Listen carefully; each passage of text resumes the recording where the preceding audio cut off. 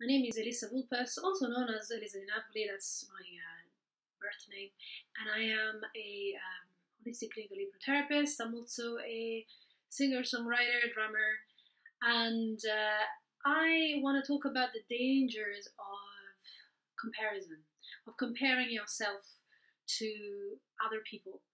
Um, a lot of the time, I think the trap here is to think that if you don't compare yourself to others, then you'll just get stuck in uh, you in a rut and not be able to um, better yourself.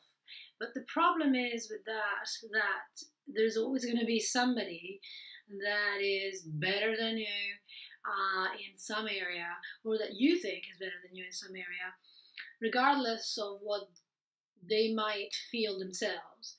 And not only that's just an assumption that's likely not to be true anyway, but also it's irrelevant and it's very um, damaging to your self esteem.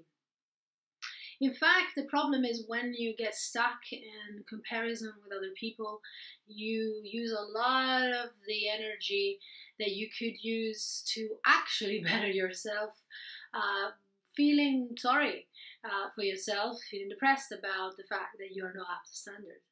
So it's a losing game. And I think, you know, it's much better to, if you really want to compare yourself, um, to compare yourself to yourself yesterday. And what I mean by that is look at where you were before and look for where you have improved. Now, some people might think, well, why should I just look at where I've improved and not look at all the things I'm doing wrong?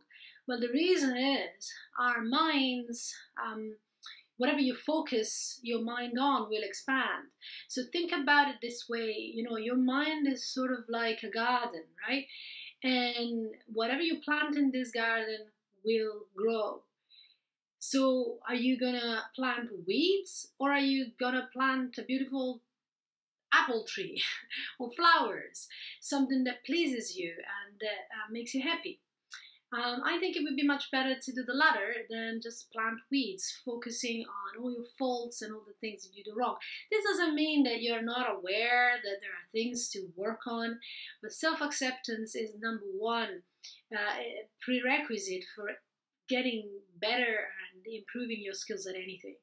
So I think um, if you really need to do something um, to better yourself, then try and be kind, try and be soft, uh, soften up a little bit.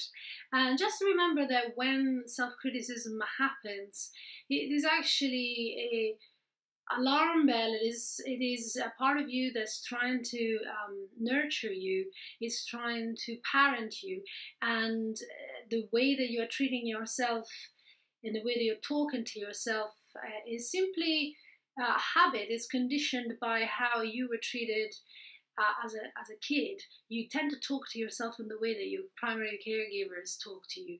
So this doesn't mean that that can't be changed, but you be, have to be aware um, of what's going on and and be willing to then change the way you talk to yourself.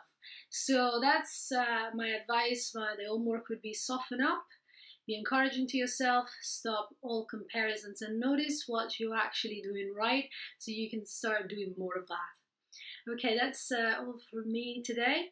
Have a wonderful day and do something creative just for yourself. You'll probably feel